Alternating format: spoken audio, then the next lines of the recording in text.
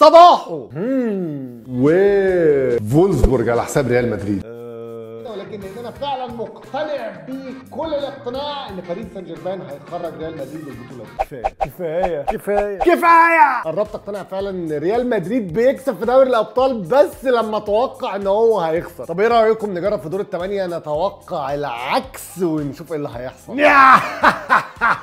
بعيدا عن التهريج والتوقعات فمفيش أدنى شك إن ريال كان الفريق اللي استحق الصعود لدور الثمانيه بمراحل. لأن لو المباراة الأولى كانت الند بالند فالمباراة الثانية كانت في اتجاه واحد بس. في اتجاه الملكي. مباراة باريس وضحت الفوارق الكبيرة ما بين الفرقتين على مستوى اللعيبة وعلى مستوى المدربين. في الوقت اللي زين الدين زيدان فاجئنا كلنا بتشكيلة وبخطة وبأسلوب لعب أنا شخصيا ما توقعتوش. فحتى أوناي إمري بيلعب بأحسن تشكيلة وأحسن تكتيك فشل لأن فريقه بيفتقد لأهم عنصر وهو الشخصية. الشخصية اللي من غيرها مستحيل تنافس فريق بحجم الريال. وبصراحة كده لقطة طرد فيراتي اللي بقاله ست سنين في الفرقة وبالرغم من إن عنده 25 سنة سنة فيعتبر واحد من اللعيبة اللي عندها خبرة كبيرة في الفرقة. تعبر وتعكس كل المشاكل اللي موجودة في فرقة زي باريس سان جيرمان وكفيلة بإقالة أوناي إمري. بس بصراحة أنا النهارده مش قاعد على الكرسي ده قدام الكاميرا دي عشان أتكلم على إمري أنا جاي عشان أتكلم على زيدان. فيلا بينا نخش في التفاصيل.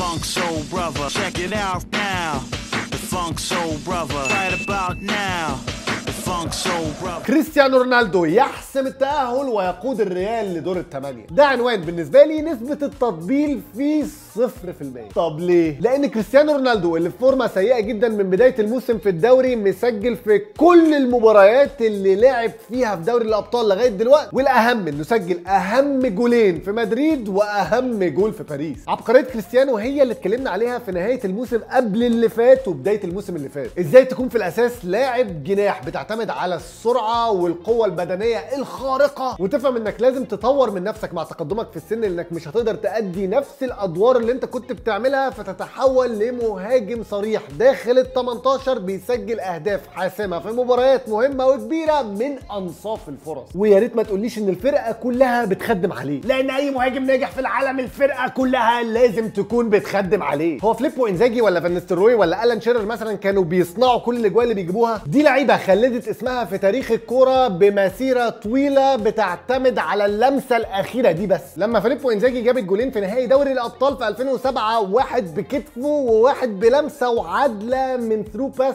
كاكا بقى هو بطل الميلان اللي جاب ال Champions League في ال final. وحاليا كريستيانو اللي عنده 33 سنة بيحط نفسه في نفس الخانة دي من اللعيبة. خانة المهاجم القناص اللي بيحسم الماتش وهو ده بالظبط أصلا معنى كلمة إنك تحسم. وزي ما قلت بالظبط الحلقة اللي فاتت مش فارقة إنك تجيب الجول ساعتها بركبك ولا بصدرك ولا بقفاك ولا حتى بدماغك دي نقطة مهمة قوي كنت لازم أوضحها قبل ما نتعمق في تكتيك زيدان. ليه ده operation could not be completed ليه؟ ليه؟ ليه؟ مبدئيا كل المنطق اللي في العالم بيقول إن عدم مشاركة كروس ومودريتش من بداية المباراة معناهم إن هم مش جاهزين بدنيا. ولو مشينا على المنطق ده فده معناه إن زيدان كان بيجهز لخطة بديلة في تحضيره للمباراة من بداية الأسبوع. وبعد 90 دقيقة في حديقة الأمراء لازم أرفع القبعة لزين الدين زيدان اللي قدر يلاقي توليفة وتشكيلة وتكتيك مثالي لمباراة باريس. مثالي بالنسبة للخصم اللي بتقابله والملعب اللي بتلعب فيه والنتيجة اللي أنت جاي بيها من المباراة الأولى. مثالي لدرجة تقنعك إن حتى لو كروس ومودريتش كانوا جاهزين فبرضه ما كانش ينفع يبدأوا المباراة لانهم ما لهمش مكان في التشكيلة المثالية دي. زيدان تخلى عن ال 4 4 2 اللي فيها diamond في نص الملعب وبدأ ب 4 4 2 ولكنها flat كليا. وجود فاسكيز وأسانسيو معناه إنك بتلعب بجناحين واضحين جدا على اليمين وعلى الشمال علشان تعتمد عليهم في الاختراقات من على الطرف وتوسيع الملعب والكرات العرضية. وكلنا عارفين إن في ال 4 4 2 ال diamond الدور ده بيقوم بيه الظهيرين. كارفاخال على اليمين ومارسيلو على الشمال اللي بيكونوا طايرين طول الماتش. وده كان معناه إن من الطبيعي جدا إن كارفاخال ومارسيلو هيكون عندهم أدوار هجومية أقل شوية ويقدروا يركزوا أكتر في دورهم الدفاعي في تغطية المساحات اللي على الطرف اللي خطورة باريس سان جيرمان معظمها بتيجي تيجي منها. وطبعا لازم تحط لي هنا 100 خط تحت شوية تحفظ دفاعي لأن كان واضح إن زيدان ما راحش باريس علشان يدافع وكارفاخال ومارسيلو كانوا بيهاجموا ولكن مركزهم الطبيعي ما كانش في نص ملعب باريس سان جيرمان زي ما إحنا متعودين نشوفها وفي نص الملعب بقى في ثنائي الارتكاز كوفاسيتش وكاسيميرو هم ثنائي دفاعي بحت. بيمتازوا بسرعة الارتداد ضد الهجمات المرتدة وبسرعة التغطية على المساحات اللي بتكون فاضية إذا كان في العمق أو إذا كان على الطرف وسرعة الضغط على حامل الكره وسرعة في أي حاجة أنت عايزها. وبالتالي أنت كده ضمنت إن عمق الملعب أصبح مقفول وما فيهوش أي نقطة مساحة. ففشلت كل محاولات الاختراق إذا كانت من ثلاثي الهجوم لما حد فيهم بيسقط عشان يستلم الكره أو من ثلاثي نص الملعب لما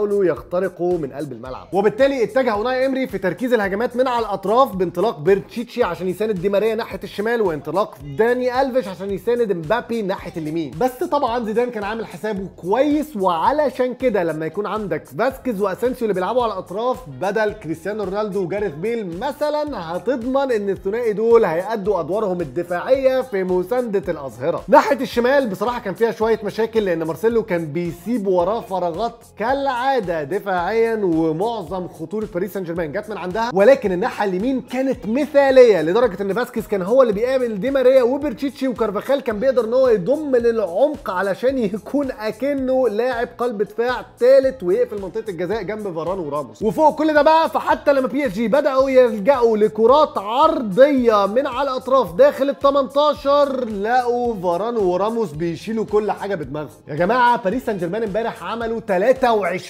كرة عرضية. سبعة منهم بس كانوا من ركنيات واثنين بس نجحوا في إنهم يوصلوا للاعب من PSG داخل ال 18 يعني من 23 كرة عرضية دفاع ريال مدريد طلع 21 والفكرة إن حتى لما دي ماريا أو مبابي كانوا بيلاقوا شوية مساحة ورا الأظهرة ويروحوا واحد على واحد فراموس وفاران كانوا بيكسبوا معظم الثنائيات دي. لا واللي فاجئني أكتر بقى إن إيه يا جماعة ده؟ ده منظر كلام في الكورة ده. هو أنا دايما بقعد اسخن على نفسي وأشخبط كده وفي الآخر بتشوفوا منظر زي ده؟ الله يكون في عونكم بصراحة. نقطتي إن لما يكون عندك كروس ومودريتش هتعرف إن أنت تسيطر على نص الملعب وتتحكم في رتم المباراة وتمسك الكورة وتستغل الكور الطولية اللي بيمتازوا بيها هما الاثنين عشان تلعبها على الأطراف في المساحات عند كارفاخال ومارسيلو. فكان طبيعي جدا إني أول ما أشوف نص ملعب فيه كوفاسيتش وكاسيميرو إني أقول بس كده زيدان جاي يدافع في باريس والاثنين دول هيلعبوا في نص ملعبهم وهنشوف دفاع منطقة مع الاعتماد على السرعات والانطلاقات بتاعة لعيبة الأطراف والمهاجمين. ولكن زي ما قلت في الأول زيدان ما كانش رايح باريس علشان يدافع كان رايح يلعب كورة ويهاجم. والمفاجأة كانت إن كوفاسيتش وكاسيميرو أظهروا ثقة كبيرة قوي في الاحتفاظ بالكورة واللعب من لمسة واحدة ببطن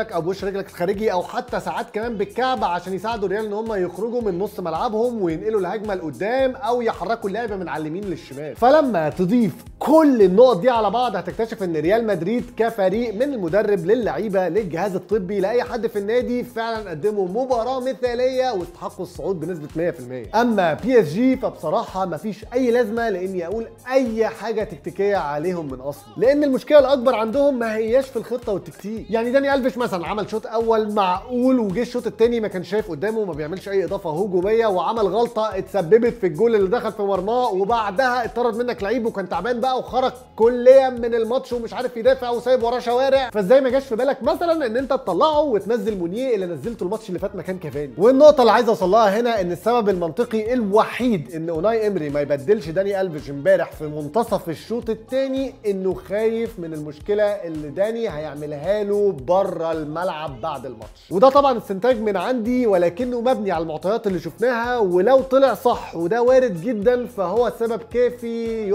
يعكس فشل المدرب. رجل المباراة هو كريستيانو رونالدو اللي سجل الهدف اللي حسم بيه المباراة وقتلها اكلينيكيا بعد ما طار في الجو. لا ما كريستيانو مش طبيعي فعلا إن هو بيطير ويقف في الهواء ويحط الكرة بدماغه. ده منظر تياجو سيلفا في الصورة وهو بيبص عليه بس وهو فوق كفاية. وكالعادة ما تنساش تعمل subscribe للقناة وتدوس على الدايرة دي علشان تشترك وتشغل زرار التنبيهات علشان توصلك أول ما انزل حلقة جديدة. الحلقات اللي فاتت هتلاقوها هنا. اعمل like على يوتيوب share على فيسبوك و retweet على تويتر. كالعادة كان معاكم عمرو صحي اشوفكم الحلقة. الجاية سلام! يا جماعة في فرق كبير ما بين التوقع والتمني أو التشجيع. يعني أنا مثلا لما الريال كان بيلاعب نابولي كنت بشجع وبتمنى إن نابولي هو اللي يكسب وتوقعت في نفس الوقت إن نابولي برضه هو اللي هيكسب والريال هيخسر. إنما ضد فولسبورج فأنا أكيد ما كنتش بشجع الفريق الألماني ولكني توقعت إن هو هيكسب زي ما بالظبط حصل في ماتش باريس سان جيرمان وزي ما النهارده مثلا أنا عايز اليوفي هو اللي يكسب ولكني توقعت إن توتنهام هو اللي هيصعد. التوقع حاجة والتمني حاجة. التوقع حاجة والتشجيع حاجة التوقع حاجة مش هبطل أعملها عشان بصراحة ممتعة. بس كده.